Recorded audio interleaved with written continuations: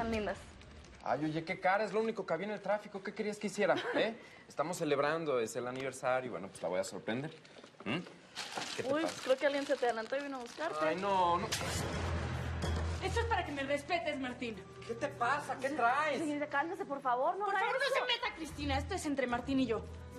¿Qué te pasa, Lucía? ¿Qué me pasa? Pasa que eres un cobarde, que eres un mentiroso, que me has engañado todos estos meses. ¿Cómo te atreviste, Martín?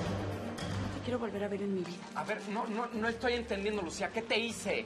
Ya lo sé todo, Martín. Sé que te acostaste con Valeria. Mi disque mejor amiga, ¿verdad?